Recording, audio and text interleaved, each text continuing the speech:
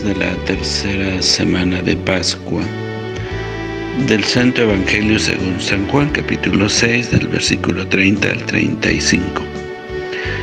En aquel tiempo dijo la gente Jesús, ¿y qué signo vemos que haces tú para que creamos en ti?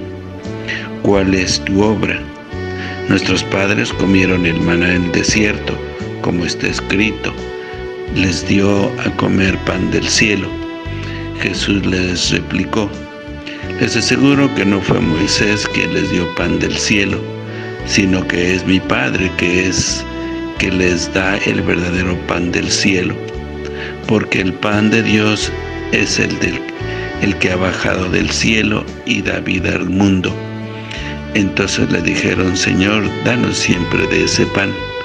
Jesús les contestó, yo soy el pan de la vida. El que viene a mí no pasará hambre, y el que cree en mí nunca pasará sed. Palabra del Señor. Gloria a ti, Señor Jesús. En el Evangelio, esta gente le pide signos a Jesús y casi como provocándole le dicen que Moisés sí había hecho signos el maná que proporcionó a los suyos en la travesía del desierto. Así ha construido literalmente la escena el evangelista de San Juan para dar lugar a continuación el discurso de Jesús sobre el pan verdadero. Todo el discurso siguiente va a ser como un discurso en torno al tema del pan, el pan que multiplicó Jesús el día anterior, el maná que, dio, que Dios dio al pueblo en el desierto y el pan que Jesús quiere anunciar. La frase crucial es una cita del Salmo 77, versículo 24. Les diste pan del cielo. Se establece el paralelismo entre Moisés y Jesús, entre el pan que nos sacia y el pan que da vida eterna. A partir de la experiencia de la multiplicación y del recuerdo histórico del maná, Jesús conduce a sus oyentes hacia la inteligencia más profunda del pan que Dios les quiere dar, que es el mismo, Jesús.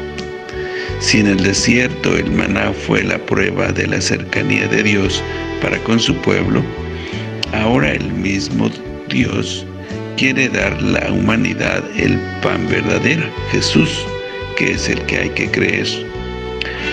Nosotros interpretamos claramente a Jesús como el pan de la vida, el que nos da fuerza para vivir. El Señor, ahora glorioso y resucitado, se nos da el mismo como alimento de vida.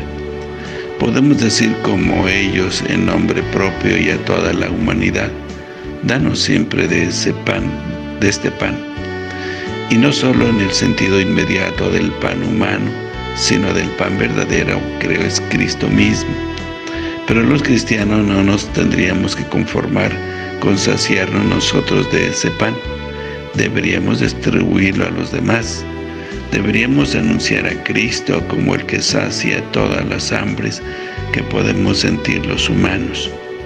Deberíamos conducir a todos los que podamos con nuestro ejemplo y testimonio a la fe en Cristo y a la Eucaristía, el pan que baja del cielo y da vida al mundo.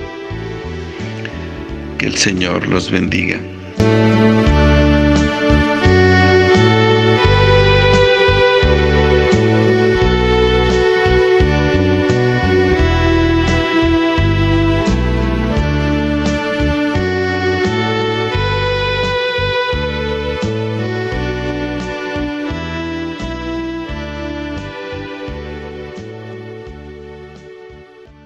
La bendición de Dios Todopoderoso, Padre, Hijo y Espíritu Santo, descienda sobre ustedes, que los acompañe siempre.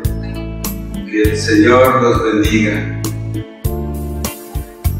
Si te gustó este video y deseas seguir recibiendo el Evangelio, misa en vivo, oraciones y muchas reflexiones más, no olvides suscribirte a este canal de YouTube, dejar tu comentario, compartirlo y darle like.